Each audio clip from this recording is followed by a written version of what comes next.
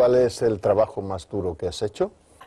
Todo despeinado porque no me dio tiempo nada ponerme las chanclas y el bañador.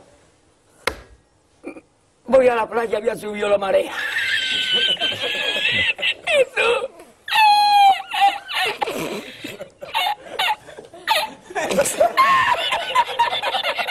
Jesús. Había subido la marea y encontré una paella.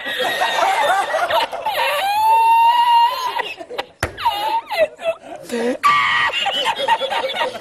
la encontré porque te estaba, estaba la paellera agarrada entre metida entre las piedras de Chipiona, del faro.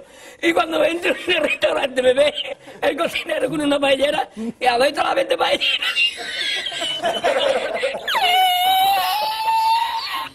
¡Asómate! ¡Asómate! ¡Mira dónde llega el agua!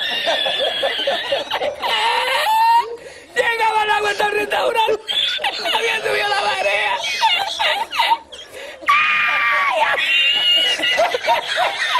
¡Jesús! ¡Hay que hacerlo! ¿Qué hacemos ahora? Con los dos sacos de arroz.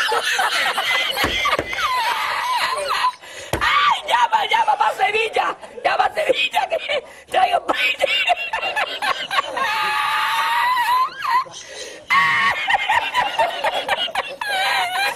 ¡Ay! Jesús, y yo con el bañador, con el bañador y con la paella. El cocinero. No vea, ¿eh? Para Sevilla. Y, me, me, y al último que cuando ya salió la bien de regla, estamos llorando los me, me cobró el tío la me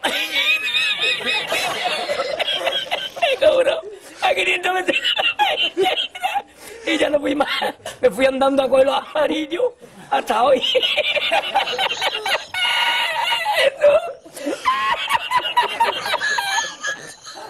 Me va,